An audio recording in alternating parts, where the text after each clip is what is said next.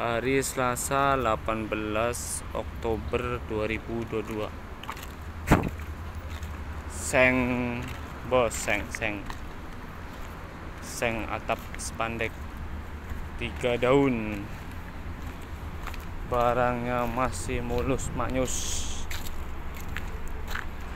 Tiga daun tiga daun.